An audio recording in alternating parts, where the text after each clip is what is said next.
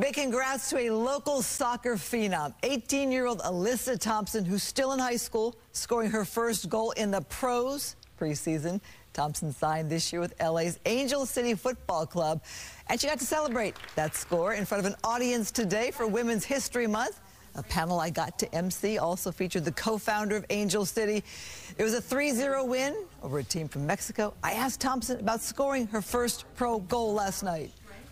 I just went to hug my teammate. I didn't really look for anyone. I You were like, Dad, we did it. no, I was just like, whoa, I can't believe this is happening. I was pretty shocked and like I just went to ran over to hug all my teammates and they were all like giving me a hug and um, it just felt really like that I was like at home. No, she's going to be, the future is unlimited for her. The event here was by the Play Equity Fund. The goal is to remove barriers for all kids to have access to sports. And right there, soccer stars from the Girls Academic Leadership Academy also in attendance.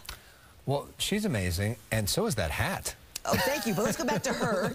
she's, she's still in high school at Harvard Westlake oh, and nice. also has a sister who's a soccer star, younger coming up. Okay. Think Venus and Serena. I love that. Mm -hmm.